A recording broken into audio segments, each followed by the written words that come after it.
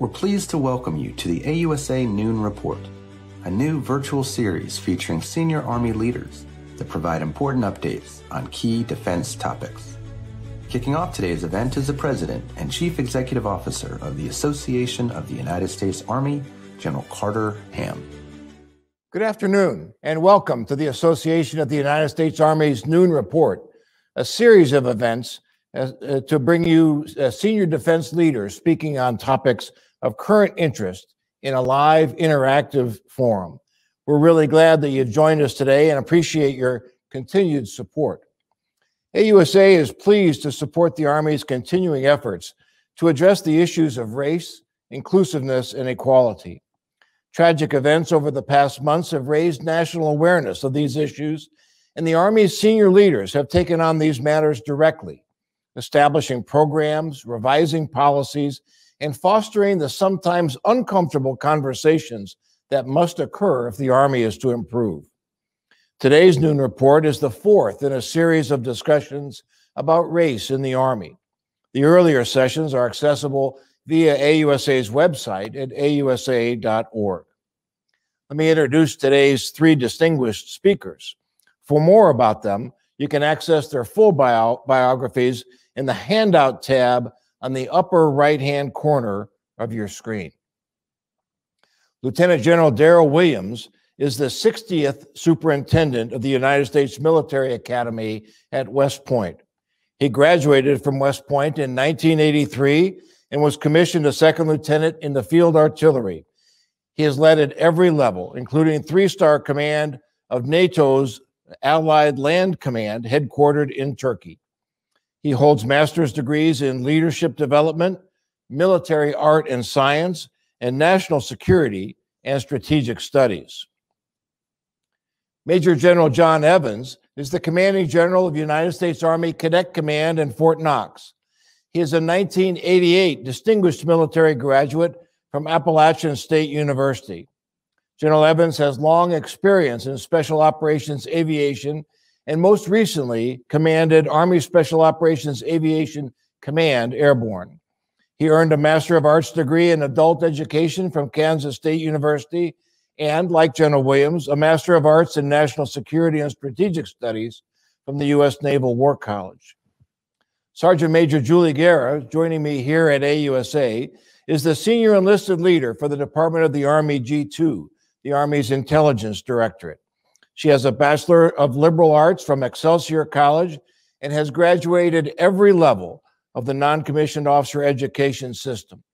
Her extensive military intelligence career has taken her to just about every part of the Army, including service as a military intelligence brigade command sergeant major, the command sergeant major for the Army's Cyber Corps, and the Cyber School command sergeant major. If you have questions for our speakers today, please use the Q&A tab located on the lower right side of your screen. We'll try to get to as many of your questions as time will allow. We'll begin today with introductory remarks from each of our speakers. Then we'll have a, a conversation with each of the three of them, and then we'll turn to your audience questions. So to begin our conversation today, let's, let's begin with Lieutenant General Williams from West Point. Good afternoon. And first, let me say thank you to General Ham and AUSA for hosting this panel and the opportunity for us to share our perspectives on this very important topic. We've all heard our Secretary of the Army and our Chief, General McConville, talk about the importance of people and winning.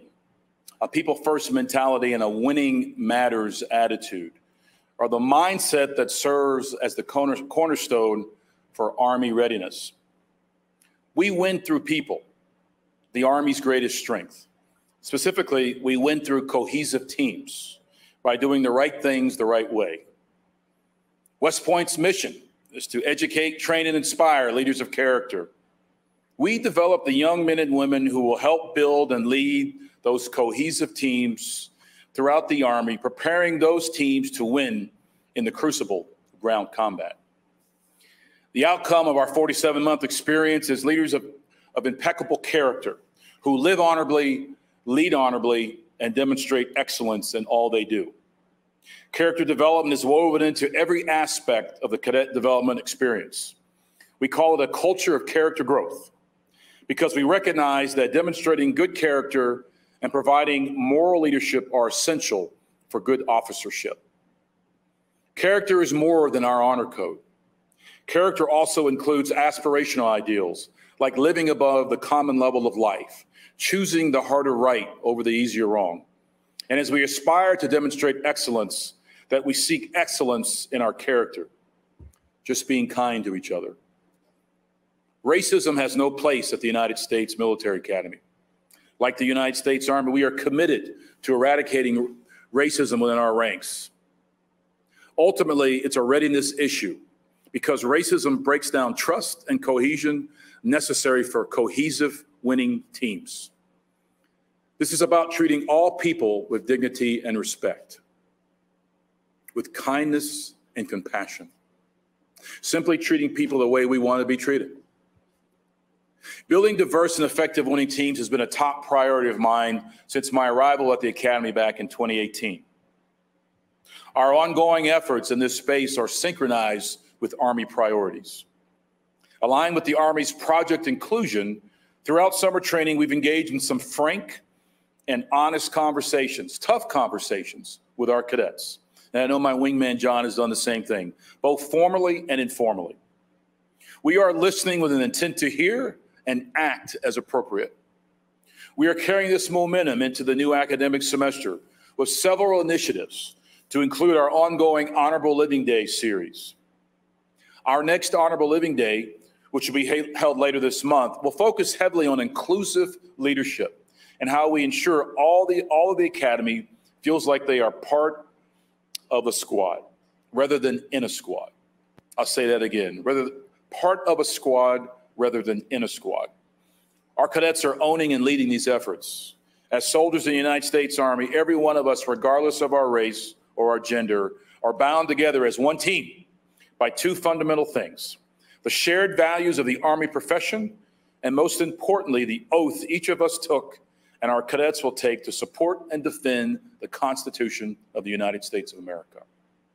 At the United States Military Academy, we have the opportunity to be the gold standard in that arena to show the nation what is possible when people from diverse backgrounds unite for a noble purpose and dedicate themselves to living honorably. Thank you, and I look forward to your questions and the discussion ahead. Thank you, sir.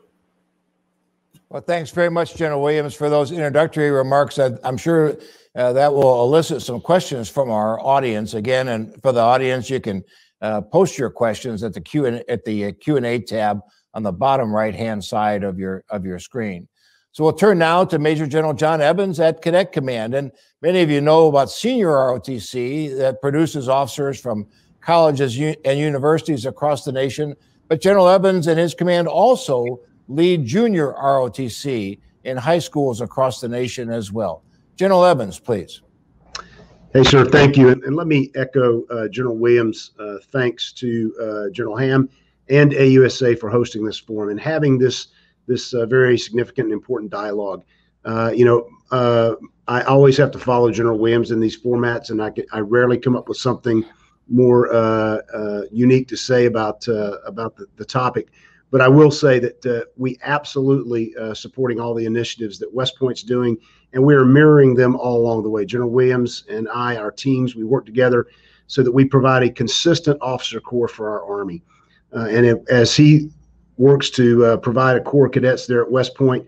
We're doing the same thing at Army ROTC, uh, and we have an ubiquitous presence across the United States, which puts us in a very unique position to get a feel for what's going on across our country. And as most Americans know, it's been a very tense time. And so, as we focus our cadets on not just the elements of diversity, but also the very, very important elements of inclusion as they build teams and foster networks uh, we have very frank discussions with them about what they're feeling and what they're seeing. And so I believe dialogue like this is very, very important in supporting that. Uh, as we progress through the questions and answers here, I look very forward to talking to you about some of the initiatives that we've got going on at Army ROTC that will address not only uh, diversity uh, as a whole, but also inclusiveness, particularly with regards to what we're doing now to try to bring more officers of color and uh, females into the traditional combat arms. And uh, I look forward to having that discussion But uh, let me also echo General Williams in saying once again, thank you for bringing us together. Uh, I look very forward to hearing uh, his comments, comments from the audience, and also the comments from uh, Command Sergeant Major Guerra. So thank you, sir. Thanks, General Evans. We look forward to lots of questions uh, for, uh, for you as well from the audience. And turning now here at AUSA in the General Gordon R. Sullivan Conference and Events Center, Sergeant Major Julie Guerra, who's the Sergeant Major uh, for the Army G2, you know, we, we talk a lot, Sergeant Major, and you hear a lot from the senior leaders about uh, emphasis at the squad level. So, of our three speakers today, you're the only one who's actually led a squad. and so I think your perspectives are, are, are really important. So, we welcome and, and thanks for joining us oh, today. Oh, thank you for having me, sir. And to be on the panel with these gentlemen is, is an amazing opportunity. So, I, I, I'm going to talk a little bit about my Army story and kind of how I led my squad along the way and also kind of ended up here. So I was born and raised in Tucson, Arizona. My dad was a plumber and a pastor. My mom was a stay at home mom. And uh, there were five children in my family, well, six total, including me.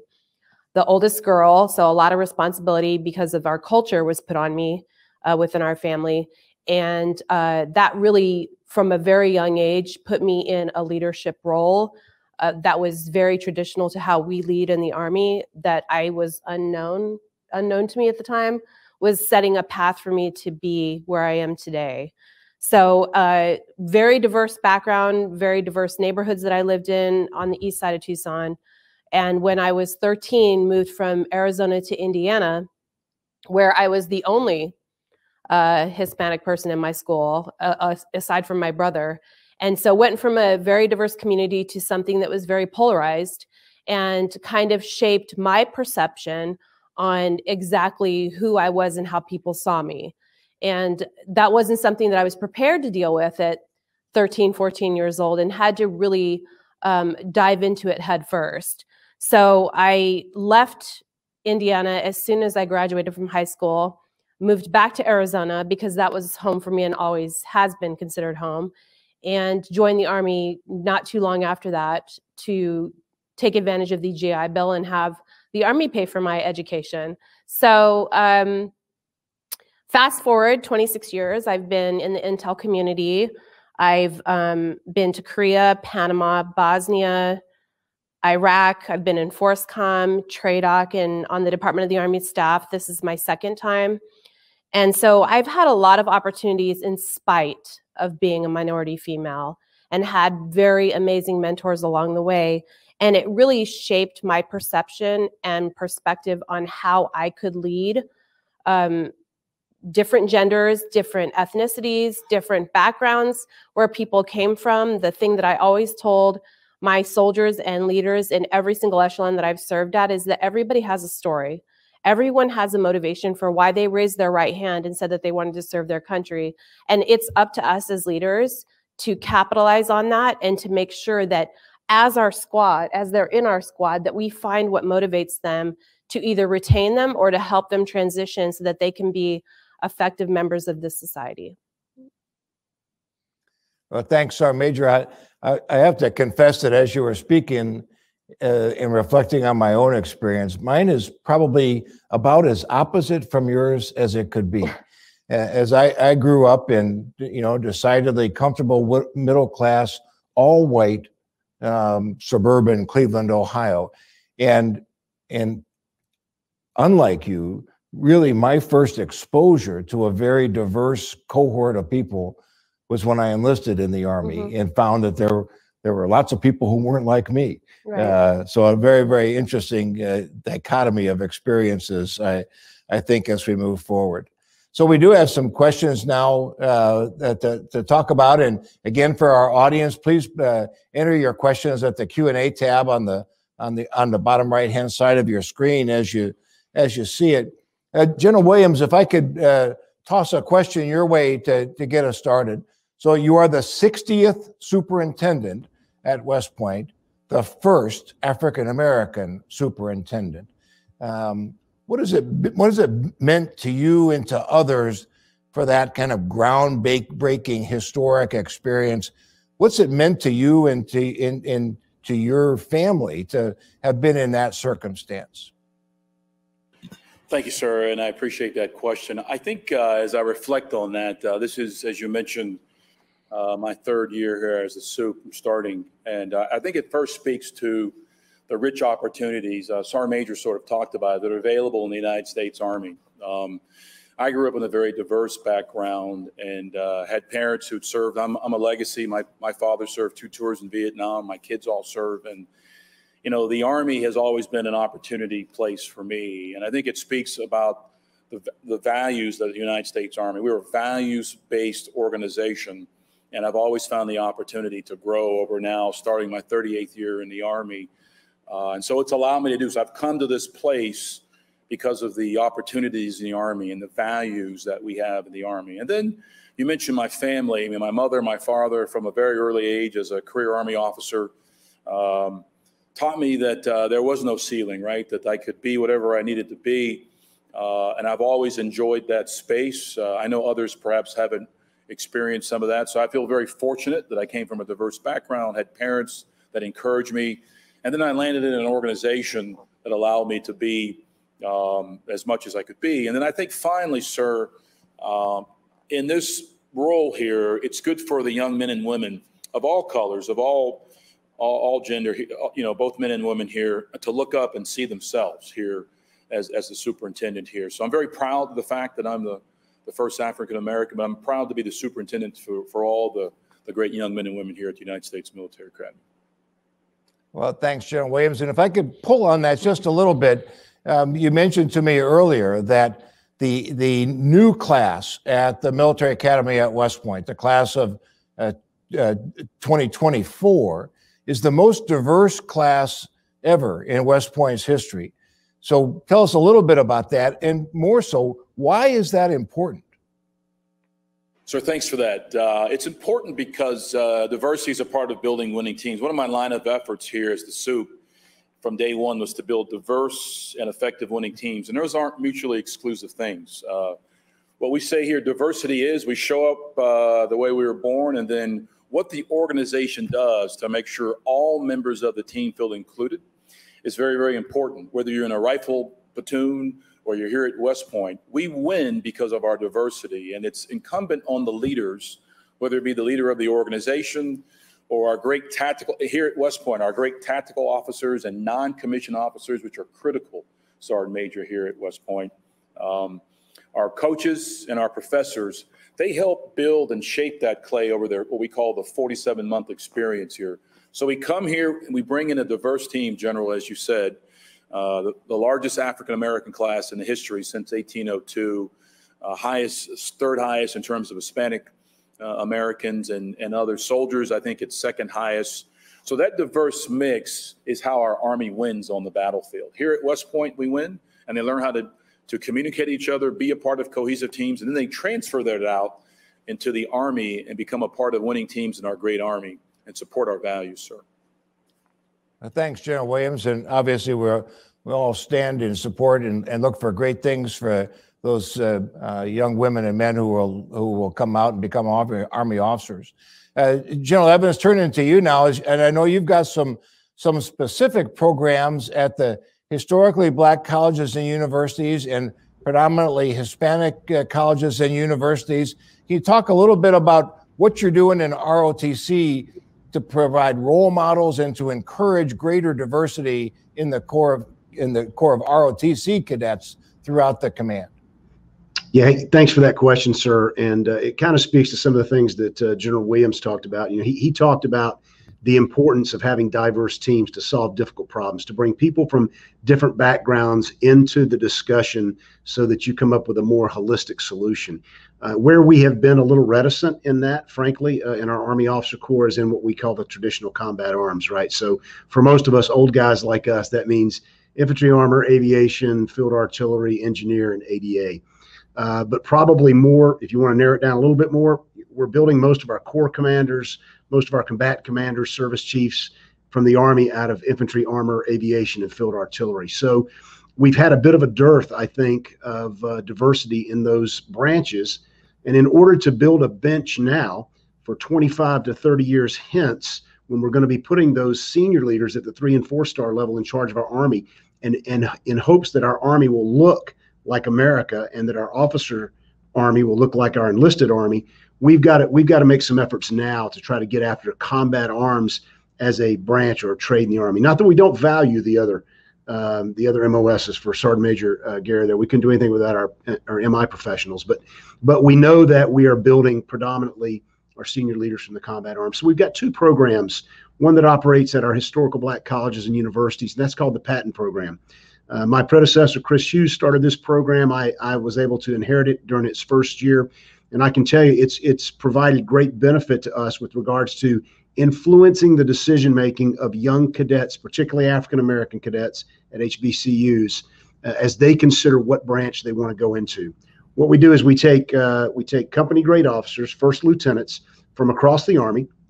Some of those are African American, some of them may not be, from the combat arms branches, and we put them purposefully at an HBCU for one year so that those cadets can have someone that's very close to their peer group who has already experienced life in the Army as a company grade officer in the combat arms, and they can talk about uh, the value of that contribution to our Army.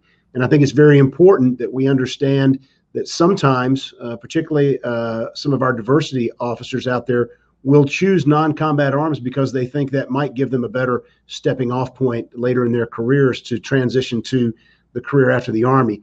But as I tell people all the time, regardless of whether you're going to be a logistician or a signal technician or you're going to work in the cyber field, the one thing that the Army does better than anybody else is it teaches leadership. And so the combat arms is particularly steeped in the in that leadership ethos, and that's why we're trying to encourage that. We're running a similar uh, program that's just beginning this year at our HSIs, uh, our historical Spanish institutions, where we will uh, we will have uh, first lieutenants from uh, hopefully the Hispanic demographic or from a regional demographic there uh, close to the university, and they will also be combat arms officers in hopes that we can encourage uh, members of the Latino community and our Hispanic demographic to also select the combat arms because we again are suffering a deficit there, and at the senior leader levels we need to do better. Um, and as we take a look at the demography of our United States, I think it's important to point out that the Caucasian demographic is on a downslope. The African American demographic is pretty flat. The Asian American Pacific Islander demographic is rising slightly, but it's a very low density demographic. But the Hispanic demographic in our country is skyrocketing. So if we don't work now to get more uh, officers from the Hispanic demographic into our Army and into the key positions, we're not going to have a force that reflects the diversity we want at the senior officer level down the road. Oh, thanks, General Evans. Certainly a challenging time, and it's it's actually really uh, interesting to watch some of the initiatives that you're applying across uh, Cadet Command to adapt to that changing demographic. Sergeant Major, if I could uh, turn to you now, you know, as a as a woman and as a Hispanic, you you you you've been a minority in just about every place you've ever been in the Army. What has that meant in terms of seeking out mentors, mentoring others? And what challenges have you encountered and how have you overcome them to arrive where you have arrived at the top of your profession? So I, I think that's a great question. So I think I'll start with, um, you know, kind of the challenges that, that they're not necessarily uh, specific to my ethnicity, but definitely, definitely as a female in a male-dominated career field, uh, the probably one of the biggest challenges that I faced um, and and continue to face is that I don't automatically have street cred um, because of my gender. So going into a job, I have to prove myself that much harder. Um, we collectively, as as females in the military, have to work harder to prove ourselves to the leaders that our capabilities and our voice are are valid, and that we are just as competent as our male counterparts and um, and then build that reputation so that we are tested leaders and members of the team along the way.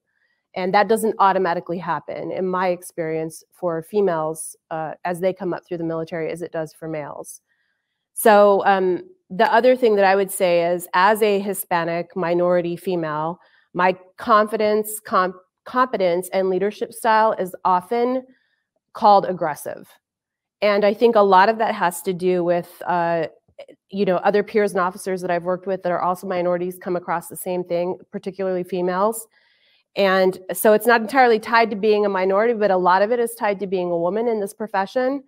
And um, it's certainly viewed differently when we are uh, boisterous or or very direct and candid is that our voice is heard differently than our male counterparts and particularly the person that's on the receiving end um, will view that differently eh, whether regardless of their ethnic background but particularly from a male and it coming from a female leader it's definitely viewed uh, differently which is uh, kind of I, I still deal with that even at the the three star level on the De- Department of the Army staff.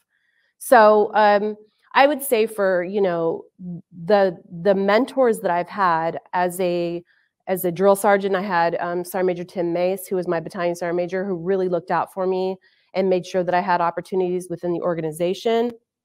As a company first sergeant, uh, Sergeant Major Tim Mullins, when I was a drill sergeant, as a non-promotable sergeant first class gave me the opportunity to take my first company as of a basic combat training company as an enabler um, going into uh, an organization that was again all male and all combat arms and then uh, I've also had um, Sergeant Major Steve Payton when I was a brigade sergeant major in Korea. He was the USFK sergeant major, and he really advocated and mentored and guided me through the nominative process so that I understood how this works. So, um, from my experience, I would say that, you know, in spite of my gender and my ethnic background, um, those, those mentors that I've had have really helped advocate for me and give me opportunities um, because of my work ethic and my reputation and my being able to prove myself regardless of where I came from and my gender. And then I would say for mentorship, I mean, uh, I mentor everyone. Uh, General Berrier, my boss up at the G2, has a saying that if if someone asks you to mentor them, the only answer is yes. And I I mentor females, uh, Hispanics, Black, Asian, white, males and females um, across the Army of all all grades.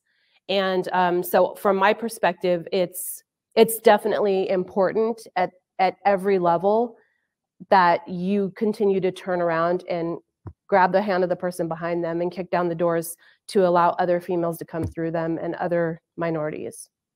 Well, thanks, thanks, Sergeant Major. Thanks yes, sir.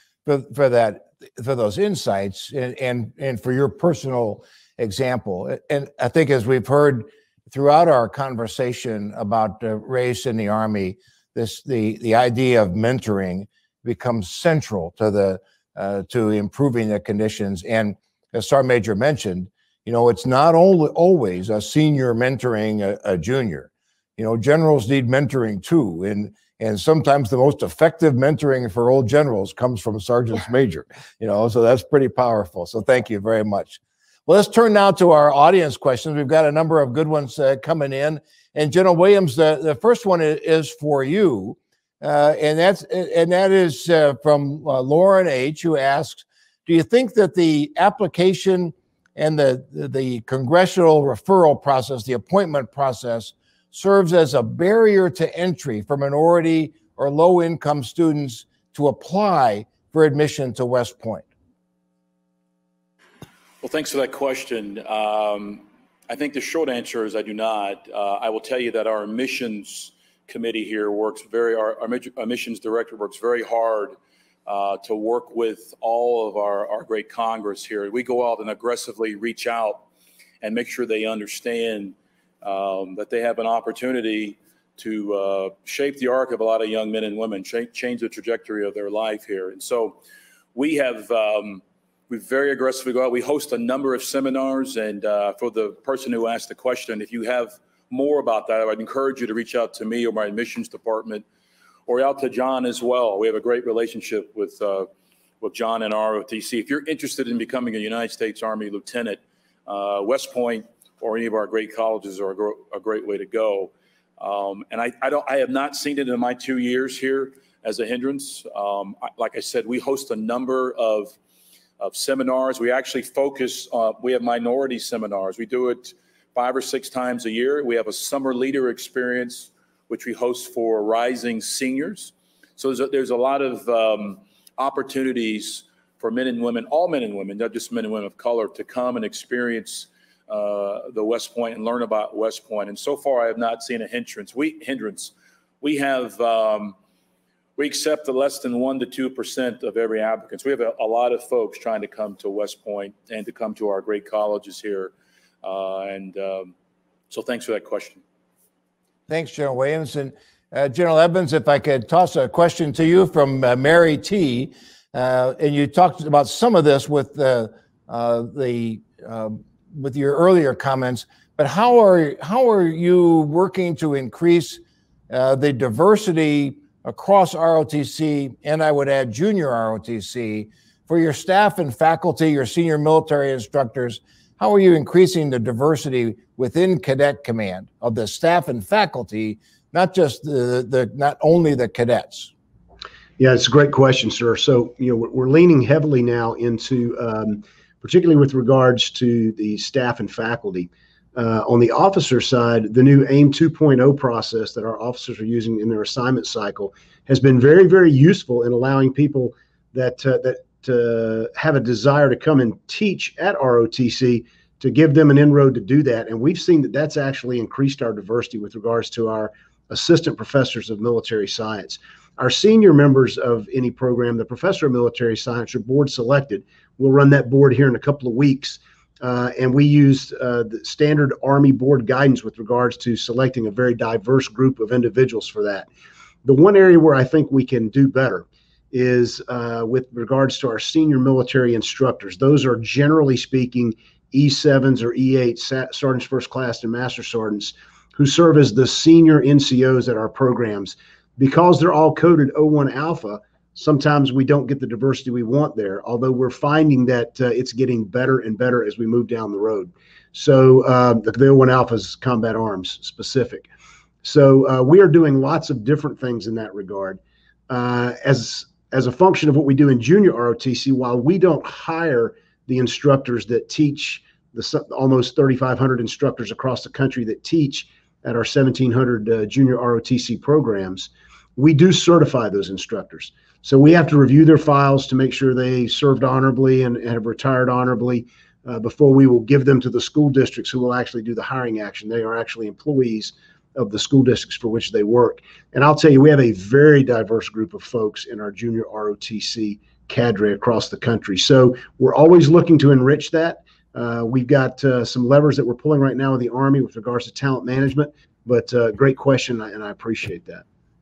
Good. Thanks, General Evans. And Sergeant Major, if I if I uh, could turn a question to you, we've got a question uh, from Darlene A, and I'll expand upon that a little bit. But why is it important in your many years of experience for soldiers to voice their opinions about diversity and inclusion? And and I think that's the the the basis for project inclusion. Mm-hmm. And so, if you could talk a little bit about project inclusion and how are you applying that within the G two? So thank you, Darlene, for that question. I would say uh, that how we're applying it in the G2, I'll answer that part first, is that we're doing listening sessions uh, across the board where we sit down with uh, every single echelon within inside of the organization. So there's not a lot of enlisted inside of the Department of the Army G2, um, but there is officers uh, from captain all the way up to three star and uh, contractors and DA civilians all the way from up to SES three star level. So I think that it's important to hear at at echelon their experiences and really what they see is a barrier to diversity and inclusion within their organization. So I, to be very frank, Intel is is uh, probably one of the worst in the army when you look at the officer side of the house uh, with diversity and inclusion. It is um, very white male centric. And so we collectively have had discussions about how we need to do a better job working with uh, West Point and with ROTC, the sources of commission, to ensure that minorities have the same opportunities to serve within the intelligence professional as their counterparts. And so that's to me is is very very important. As far as giving the soldiers a voice, uh, when it comes to diversity inclusion, you're not going to know unless you actually talk to your soldiers, unless you actually give them a voice, give them the opportunity to say where it is that they feel that there's barriers based on their ethnicity and their gender and be willing to listen. And for some of them, you know, some some soldiers they they could be a white male and they they grew up in an, an area that was very where they were the diversity. And so being able to have those conversations about their background, where they came from, regardless of gender, regardless of ethnicity, is critical and it's key. And then just listening. You're not there to solve all the problems. You're there to listen and to see what those experiences are and how it shaped them and their and what their view of the world and the army is. So, Sergeant Major, if I could just follow up a little bit, that you know, that as the Army is and continues to be a globally engaged force, um, that seems to me that particularly in the military intelligence field, uh, that uh, the diversity that you're speaking about contributes to that. You get regional right. understanding, cultural, ethnic understanding. You get language skills. So in MI, talk a little bit about how you how you would recommend expanding that diversity to capture that uh, that that those skills uh, within the MI career field? Yeah, so that's a that's a tough one um, because in order to serve in some of these actual MOSs, you know, they have to have top secret security clearances, um, sensitive compartmented information access. Um, some of them will need access to NSA platforms, and so really um, th- there are very limiting factors to getting into side of some of those some of those roles, um, especially if there's something in their background, like let's say somebody's coming into the army that precludes them from getting that. So uh, I, but what I will say as is as an intel professional that uh, has come from where I came from, that really ask the question and see what it is that you can do to get into the career field. Because as we regionally align and we look at languages and we look at the actual experience and skill sets, um, the biggest thing that the Army needs, regardless of profession, um, but of course I'm biased, especially in the military intelligence corps, is somebody that has the drive and wants to win. Just like the chief said, you know, winning matters. And regardless of what that win looks like, um, it might just be a brief about, um, you know, battle assessments or, or an, you know, an intel update to the CG, regardless of what that win looks like, um, and those those backgrounds and everything that feeds into it. I think it definitely is key, but the, at, to actually answer the question, I think that's that's really tough to get after every single discipline within inside of the intelligence enterprise and tackle that from just one blanket statement if but that makes sense. it does but i and i think back to your original point it starts with having that conversation right. and seeing you know what what can be done to to help open those uh, open those doors. Um, general williams uh, a question from the audience about um, a fairly recent letter from some recent graduates from the military academy at west point um, offering some very public criticism about race uh, inclusiveness uh, at at West Point. Can you talk a bit about, about how you're dealing with that letter from some recent graduates? Yes, sir. Thanks for the question. Yeah, we uh, this summer, some recent graduates uh, wrote a letter addressed to me and uh, laying out a lot of um, allegations. And so I, I, will tell you, as a commander, you know this at Echelon, um, my immediate response was to look at it. So we, I think the next week, I think the following Friday, I directed my inspector general to do a formal investigation.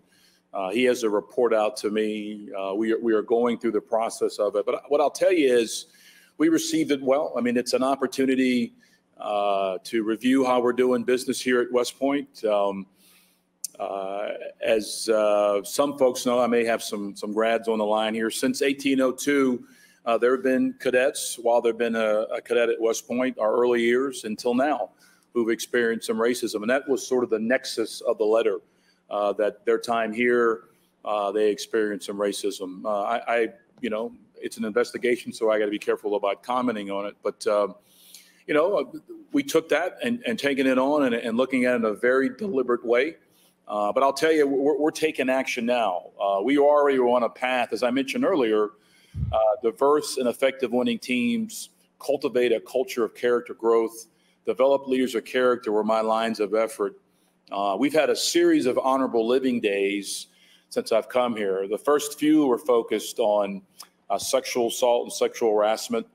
Um, the one we're going to do in a few weeks is focused on racism.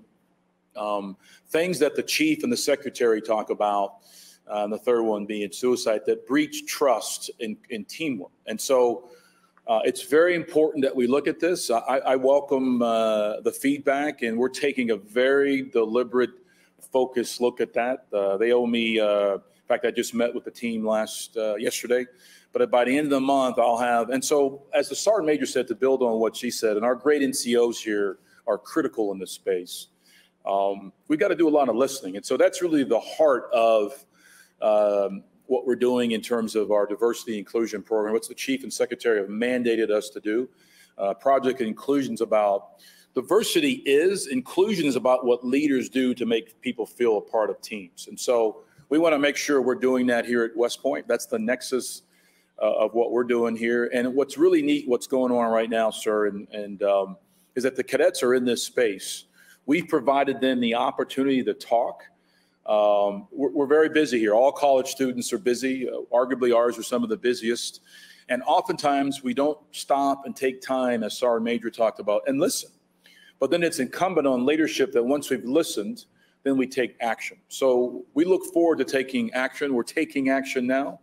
Um, I think there's a very, if you come and visit West Point, of course, it's tough right now given the COVID environment right now, but I think you'll see our young men and women engage in this space. They want to be engaged. They want to make sure their leaders are engaged in this space and are taking action. And we'll take action here and address the issues that were uh, mentioned in the letter. And, and we welcome it. It was a great opportunity. I think we had a lot of that moving, and we'll, we'll be considerate of, of the things that were mentioned in the letter. Thanks for the question, sir. Thanks, General Williams. Um, uh, General Evans, a, a two-part question as, as, coming from the audience. First, what have you learned from the other services in their ROTC programs that has been useful to you? And what changes have you directed uh, in the ROTC curriculum? I, and I know you have to work that obviously in conjunction with the host colleges and universities, but what what have you changed in the in the in the curriculum of ROTC as a result of uh, this emphasis on race and inclusiveness? Yeah, so gr- great question, sir, and I, appreciate whoever asked that. I will tell you that there's a lot to be learned from our joint service partners that are out there. I dialogue uh, with them. In fact, I was talking to the uh, the naval admiral who's in charge of ROTC for the Navy just last week, and we were sharing some best practices. Uh, I think we can take some pride in the fact that our officer corps tends to be, on average, a little bit more diverse uh, than the other uh, services. I think that's the nature of who we are as the Army, uh, and I think we ought to be proud of that fact. It doesn't mean we don't have work to do moving forward. Um, w- with regards to our curriculum, uh, we've really tried to focus the effort, like like General Williams talked about. We're a values-based organization, and so at the very core of this question about um, racial injustice, racial discrimination, racism, is is really what underpins us as human beings are our values, right? We're going to bring kids in, just like West Point does, from across the country uh, to different colleges and universities. I think the seminal difference between the ROTC experience and the West Point experience is once they get to West Point, they'll enter that 47 month training model, and there'll be a certain degree of conformity that occurs by virtue of the way they, they conduct that model.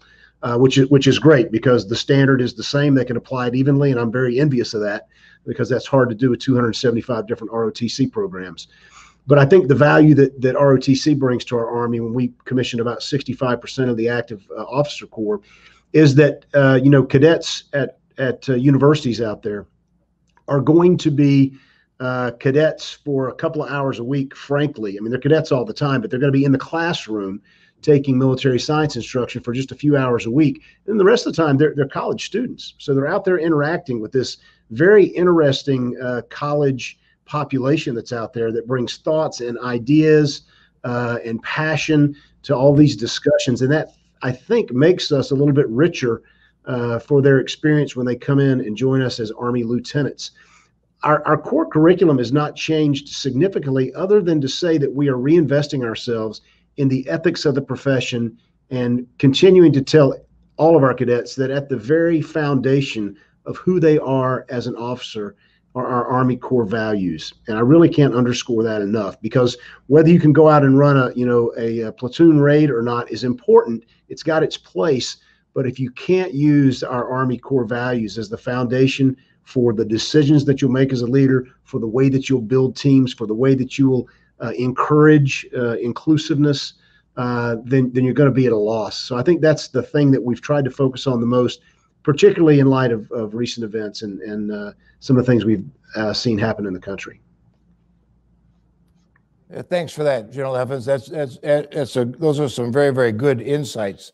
Um, and, and, it brings, I think it highlights a, a, question that also came in from the audience, Sergeant Major, that I think perhaps you're best suited to address, and that there's a generational aspect mm-hmm. to, to diversity and inclusiveness.